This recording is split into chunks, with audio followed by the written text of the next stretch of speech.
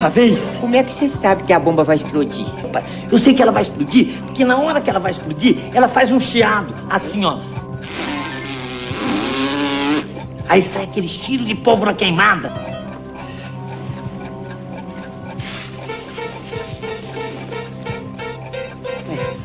O que foi dessa vez? Dedé, eu acho que a bomba vai explodir. Você ouviu o chiado? Não ouviu o chiado, não. Mas o cheiro de pólvora queimada tá bravo.